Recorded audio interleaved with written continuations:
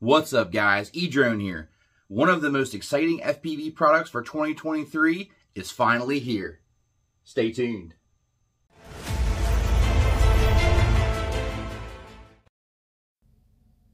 Okay, this is going to be a little bit longer video than usual, so I put timestamps in the description. I'm going to go ahead and uh, unbox these, and it comes wrapped in a nice uh, cellophane wrap. You can see that we have the description of the contents inside the box. I also purchased the analog module. We'll be looking at that a little bit later. Nice clean box. Go ahead and open it up. You are greeted with this HD Zero card, and if you flip it over, it's actually a quick start guide. Super handy. Really like that. Put that off to the side. We're going to take a look at the accessories here. You get one box. And this has your microfiber cleaning cloth, your firmware update cable, as well as Divimath stickers, the HD Zero strap for the goggle, your XT60 to barrel connector, your wide face plate, and your foam pad, as well as two adhesive strips. And you get a really nice HD Zero bag, felt lined. Okay, taking a look at the main event here. Here it is, guys. The HD Zero goggles. Wow. Really like the look of these. They actually look sleeker than I was thinking they would. You have four SMA connectors on here. And on the bottom, we have quite a bit going on here. You have HDMI in, so you can go ahead and run like a Walksnail or uh, any other input for HDMI. You have HDMI out, so if you want to run this to an external uh, screen, you can go ahead and, and run HDMI out so you can have see what's going on in the goggles on a different display. We have a micro SD card slot. We have a firmware update cable slot. We also have a headphone microphone combo jack, which you can use to either hook up an external microphone to record your audio. There's also a built-in microphone inside the goggles as well to record your audio. Or you can go ahead and plug in a set of headphones or earbuds and you can have a um, microphone on your drone and you can actually listen to the audio of the drone. We have a analog three and a half millimeter AV input for running like a ground station. I really like the way that everything is very clearly labeled. All right, taking a look at the optics of the HD Zero goggle. We have full HD, 1080p, 90 hertz adaptive OLED displays that are going to give us a really nice, crisp, clean image. And they have a massive 46 degree field of view, which is really immersive. All right, taking a look at the top of the goggle, you see we have a scroll wheel for the menu system, and as well as a push button on the other side. And they feel really of nice, good quality. Taking a look at the two faceplates that come with the HD Zero goggle, we have a narrower faceplate, which is on the goggle, and a wider uh, faceplate. The wider one does not fit my face, so I'm going to go ahead and use the narrow faceplate but go ahead and pick whichever one works for you. All right, so to go ahead and get your uh, foam padding installed, go ahead and take your little Velcro strip, peel off the back sticky paper, and you're going to want to line this up on the goggle. Make sure it's lined up correctly. Make sure it's pushed all the way down around the nose piece so that it's not going to be moving on you. Then go ahead and take your, your foam pad here, and you want the foam side facing outward. And then you're going to go ahead and line that up and it should line right up into place and, and attach. And if you need to take it back off, you can, no problem. All right, going to go ahead and install the HD Zero strap, which is really simple. I like this new design. You basically just push it through the little clasp here, which is metal, and then you just snap it into place. Go ahead and get the other side connected and make sure to pull off the little paper lens cover here on your lenses. All right, let's take a look at the IPDs now. I really like this new design. I feel like they don't move as easy as my HDO2s did. Um, so you can slide them to the right or the left to line them up with your eyes. And then um, for the IPD adjustment, you have 57 to 70 millimeters. And for the adjustment for the focus range, you have a plus 6 to minus 6 for the diopters. We're going to go ahead and get ready to install the antennas for the HD Zero goggle. Now, these antennas do not come with the goggle. You have to purchase these separately. And special shout out to Ryan Quillett for um, his recommendation on this particular antenna setup. And I'm going to put links down the video description for everything you see in the video. Also, a special shout out to Fly High FPV. Check out flyhighfpv.com. Uh, I had him, uh, Dave print me out these mounts here that will snap right onto the rail system of the HD Zero goggle. All right, go ahead and remove the little plastic covers that are on top of your SMA connectors. And I'm going to go ahead and install the two Lumenier uh, stubby right-hand circular polarized. You can use left-hand circular polarized as well. Just make sure that whatever you use, you match up on your quadcopter. And they are SMA connectors. So just as long as they are SMA, go ahead and screw those on the top. And you can see it has a nice low profile design here. Now, we're going to go ahead and get ready the patches to install them. So I did have uh, Fly High FPV print me out these little 3D printed adapters, but actually I found out that I don't even really need those. Um, I'm able to screw this on without using those. So you'll see that when I install those later, they're not going to be on there. But go ahead and take the patch antenna and basically it just sticks right onto the mount using the little uh, sticky back. And you can either slide it on like this or you can actually slide it back off and you can actually just pop it on. You'll hear it click into place and lock it on that way. And once you have it on the little rail system, which I think is really nice, by the way, I like the rail system, you can go ahead and um, screw in your antenna right here. And, and as you can see, I removed the adapters, no problem. I have both of them installed. And this is a nice low profile design, which is going to be able to go in my bag uh, and, and not have to mess with taking antennas on or off. I really like the look of this. This is the battery that I'm going to be using to power the HD Zero goggle, and uh, this was recommended by Ryan Quillett, and I'll put link down in the description for this. But this is a lithium ion pack, and as you can see, it fits perfectly in the side of the strap and plugs right in, no issues there. All right, now let's go ahead and get ready to install our analog bay module here. Now you have to buy this separately. Um, this is the version 1, and there's going to be a version 2 coming out that's actually uh, Wi-Fi capable. But here's a little screw that comes with the, the module here. So if you want to actually screw it on and have a more permanent connection, you can use that. I'm not going to be using the screw for my purposes. But taking a look at the little little bay module here, you see it has a, a the pin connector here for your rapid fire or your fusion or whatever you want to use that has the pins. And then it has the pins on the other side that are going to basically plug into the HD Zero goggle. And uh, I really do like this design, even though it does stick out a little bit it, it seems like a it's a really good solid connection. So I'm using the rapid fire here, the, the ImmersionRC rapid fire module. And once you line the pins up, make sure you have them lined up. Push them in until you get four snaps there on the top and bottom. Make sure that the cover is completely snapped in. Okay, once you have it in and you know it's secure, now you're ready to go ahead and remove the little cover here on the left side of the HD Zero goggle and that's going to reveal your little uh, pin connector here for the analog bay module. Now, I found that this actually lines up really good for me. I didn't have any issues with it not lining up properly or anything like that. Um, and once you have it lined up, make sure it's straight, and then just kind of push it in until you hear that snap. And it's a very loud snap. You can't miss that snap. Once you hear that snap, you know you have it seated properly and it's going to have a good connection and is connected to the goggle properly. All right, so that's what it looks like with the analog bay on the side. And here's a comparison of my HDO2s on the left and the HD Zero goggles on the right. You can see a little bit of comparison here with the size and form factor. Even though the HD Zero goggle is wider, eh, I feel like it's way less deep now. Let's go ahead and put this on the scale. This is with the battery that I use on the side, 553 grams with the battery. Now let's go ahead and remove the battery. So if you want to do a battery in your pocket, uh, you can get it down to about 402 grams. 466 grams with the rapid fire module with the patch that I have. All right, just for reference, here's my HDO2 goggles.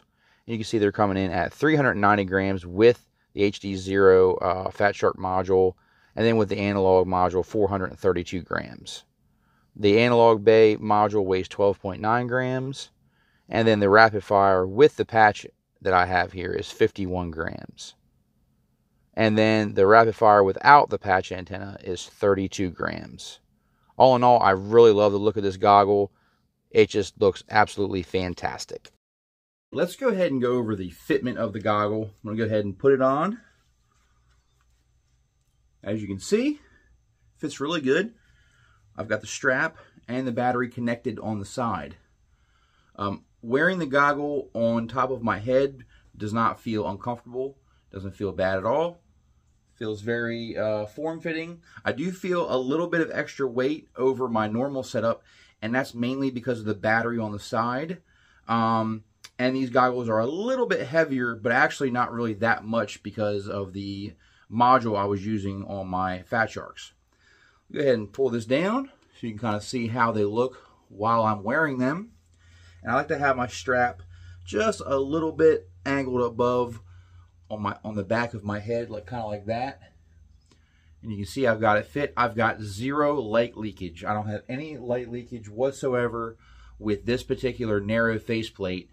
And I love the fact that the, the area around the nose seems to be a little bit wider than with my Fat Shark. So I know with my Fat Sharks, when I had the goggles, um, I felt a little bit of a nose pinch at the top of my nose. Here, I don't feel any nose pinch whatsoever. I can breathe fine, no issues with that. This has to be probably one of the most comfortable goggles I have ever worn. It just feels so premium. It feels amazing to wear. And I know that it's going to just create for a way more immersive experience um, just because of the comfort level of this goggle. So for comfort level, I will definitely give this a 10 out of 10 uh, compared to what I've used in the past. Now I'll show you the uh, Fat Sharks HDO2s with the HD Zero module. Okay, so you can see what these look like. I'll do a side-by-side -side comparison of these.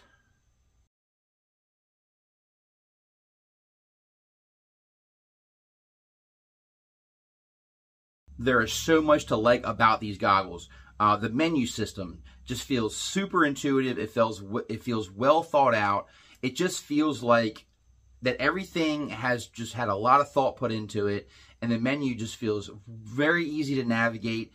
There's so many different options in there to, to go through, and I'm really excited about that menu system. The Linux operating system that runs on these goggles is fantastic. It is the one of the best UIs that I've ever got to experience. And I love the jog wheel on top. It just feels so satisfying. It feels like it's a really great quality. Um, I love the, the, the positive reinforcement of the buttons. They just feel very premium. Okay, let's take a look at the HD Zero overlay display here. On the top right-hand corner, we have four signal strength bars indicating the signal strength of the four antennas. Next to that, we have a video quality link measured in a number there. And then on the top left, we have a fan with the fan speed currently uh, displayed. And then we have a little padlock, which indicates that the uh, video transmitter is now locked and synced with the HD Zero goggles.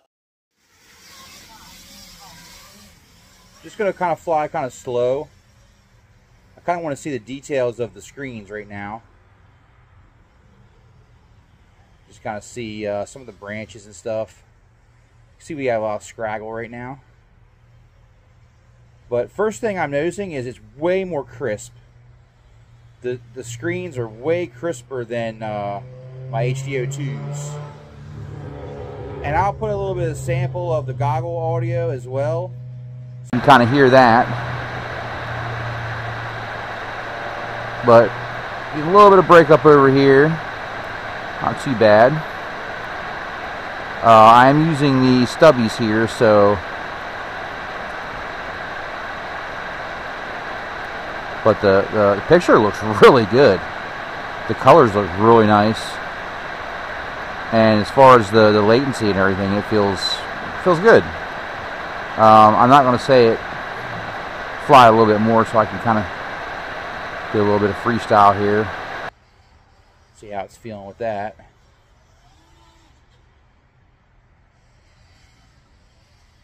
Okay, not too bad. Back over here, I always tend to get a little bit of rainbows right around that bush. And while I am getting some sparkles, it's definitely not unflyable. Try to keep my head pointed up. Go around the side so we can really kind of see that break up. Now you can really see it now. But still, I mean, totally flyable.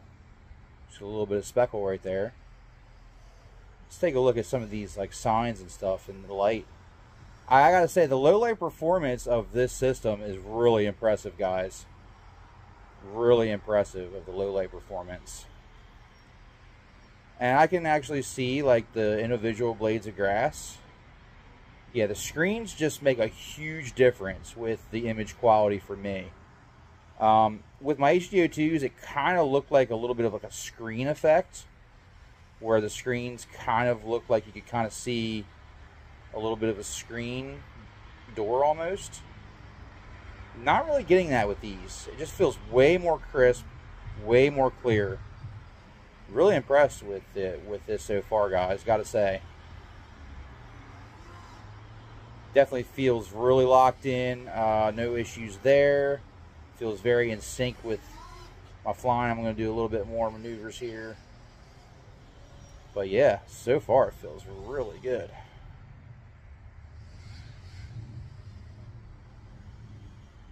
And the detail seems to be uh, pretty good as well. This is the Micro V2 camera. This is the uh, HD Zero uh, Micro V2. Over here, we usually get some breakup over here as well. I'm going to try to go around and see if we can make it all the way around. Um, I am, like I said, I am using the patches and the stubbies. So right around this area, it normally gets really bad. Okay, it's fighting through. It's fighting through. Not bad. Oh, wow. I have to do like some testing with the, uh, we'll do some comparisons with my HDO2s and the, uh, and the module, but yeah, this, this seems to be a little bit better. I think it seems to be a little bit better, actually it's weird because the breakup seems to be like a little bit different. And I don't know if that's the screen resolution, just because the screen resolution is a little bit different. But yeah, I mean, I'm totally able to go all the way around, and it's definitely not unflyable. Uh, this back corner here is the worst, and it's pushing through, so I'm really impressed with that. So this will be kind of like a low light first impressions flight test. And then I'm going to do some comparison as well. This bat this battery's just about finished. I actually don't have an action camera on it, so able to get a decent little flight time here. Let's kind of look at those details again, like in the grass. Want to look at this tree some more too. It just overall, it just seems way more crisp. Like the HD just seems way more crisp than on my uh, HDO2s. Like the details really pop. Like you, I can see all the scraggle here, like no issues, right? Just keep on my battery voltage, but I, I don't think I would be able to fly in this scraggle as confidently in low lighting with the HDO2s. I just don't think that would even be possible. But you can see I'm flying right through. I can see the branches, like every little branch. Wow. First impressions, I'm really impressed with the quality. Wow. Really impressed so far. And especially in low lighting as well. I, I know it's going to look even better when it's brighter out. But I would say this is definitely a substantial upgrade uh, from the HDO2s with the Fat Shark uh, or the HD Zero module. Yeah, look, I mean, look at the details there. I mean, I can see so much more.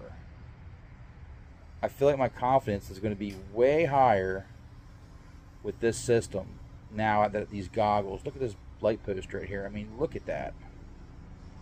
That's so clear. Wow. I can still smell that really good smell from the uh, the foam and the goggles, that, that new goggle smell. I love that. Yeah, so I'm going to put some samples in and out of the audio from the microphone built into the goggles. I will say, like, outside, the fan noise is not bothering me at all. I'm not having any issues with the fan noise. I have it set to auto at the current time. And it looks like it's on level 4 right now. Um, definitely hasn't been bothering me at all. I actually would rather have a little bit more fans, especially because I sweat a lot and I tend to fog up my screens uh, pretty good. So I'm actually happy that the fans are so powerful. It really helps. I'm going to take a look at this bench right here. You can kind of see the detail in this. Wow. Yeah, I'm really happy with this. This is definitely an upgrade from what I've been flying. Uh, I can just tell you already, just from looking through these screens, that it's a it's definitely an upgrade. Definitely a substantial upgrade on the quality for me. All right, I'm gonna go ahead and bring it back here.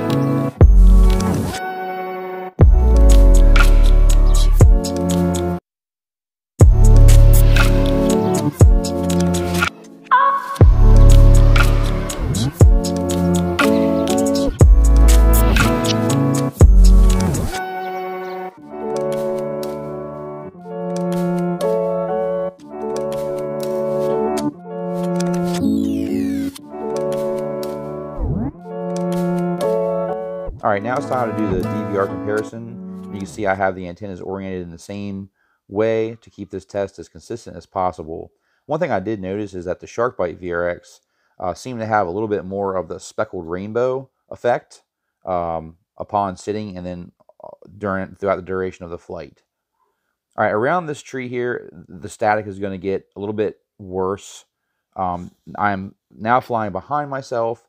There's lots of Wi-Fi, uh, concrete, uh, all, all kinds of RF nightmares. And you can kind of see how they both uh, handle the breakup. I'm going to go ahead and slow this down to a quarter of speed. That way you can kind of see the comparison between the two, the goggle versus the Sharkbyte VRX. You kind of see how they both handle the breakup. Um, I will say they're very, very similar. I would say that there's a slight possible edge with the HD Zero goggle it seems to handle the interference a little bit better in some areas. However, it's not a drastic amount from this test.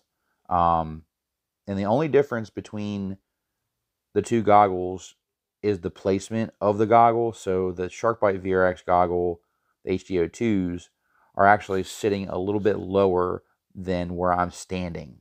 That's the only difference really in this test other than the goggle and the VRX. But you can kind of see right around this corner here, you still see a little bit more speckle with the Sharkbyte VRX.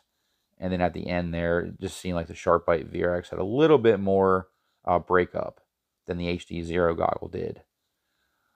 One thing also you'll notice is that I think the colors are a little bit more uh, vibrant on the HD Zero goggle. Make sure you turn up your resolution so you can really get the full benefit of comparing these two images.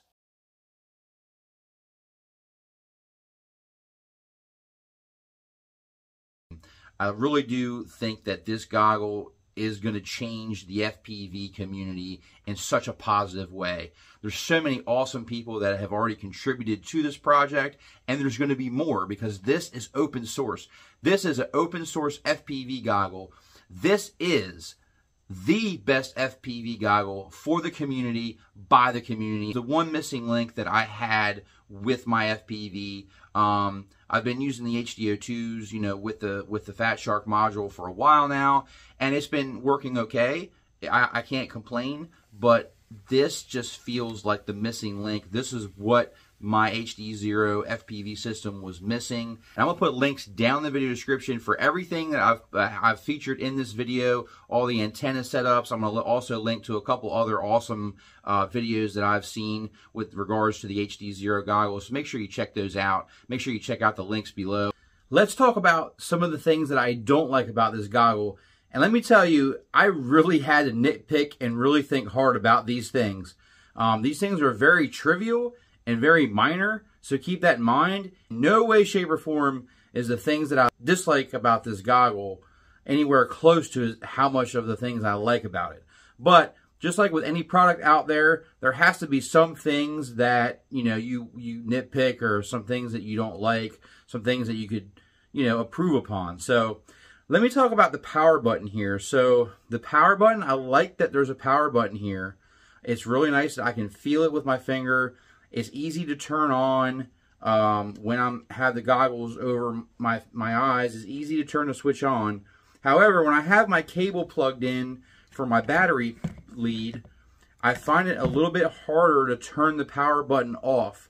So when I go to to put my finger to turn the power button off, I feel like it gets um, a little bit difficult between the sliding the button backward and then getting in between the barrel connector that comes on the goggle. So the second thing that I don't want to say I don't want to say that I don't really like it about the goggle, but I was kind of expecting something different.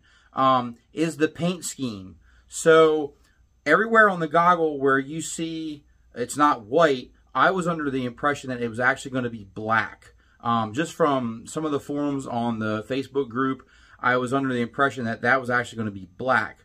Uh, and it's more like a deep dark green, uh, greenish kind of hue. Uh, some people have been calling it like army green. Um, I don't think it looks bad, not at all. It was a little bit different than what I had, had expected, so I wanted to go ahead and bring that up one of the reasons that I really am wanted these goggles is the fact that not only is it an amazing product, but the people behind this product are amazing. Carl Zhou, Ryan Quillett, and there's a, there's a, plenty of other people involved in the HD Zero goggle project, and it, it goes without saying that this you're supporting by getting this goggle. Not only are you getting a, a fantastic, amazing product, you're also supporting fantastic and amazing people. Um, these people have just gone above and beyond to get us this product through all the hurdles that's been going on over in China. I don't know if you guys have been aware, but there's been crazy things going on over there. And with the shipping has been restricted. And believe it or not, Carl Zhou and members of the HD Zero team were actually shuttling, carrying these goggles on a bullet train miles and miles away to get these things shipped out because a lot of the uh, shipping locations near where they were were shut down. They were restricting how many items they could send. And I just think that's amazing. When you have a team that is that dedicated to a product, it's amazing. I am so happy to be able to help and support these goggles. And now that the fact that the price has dropped even more, guys, $495 for these goggles. That hands down has got to be one of the best value goggles on the market today. The fact that we have HD Zero built in, we have analog if we want to use it, we have HDMI input if we want to use, you know, Walksnail or I mean, it just blows my mind. We have this kind of technology with this many options packed in, built into this goggle I think this is definitely going to be one of the best, if not the best product, FPV product for 2023. I'm so excited to be a part of this. And uh, just stay tuned to the channel because we're going to have plenty of content, you know, coming more on the HD Zero goggle. I can't wait to bring you guys along for the ride. Thank you guys so much for watching. Please, please like, share, subscribe, and there's going to be more HD Zero goggle videos to come on the channel, so stay tuned for that. And until next time, guys, thanks so much for watching. E-Drone out.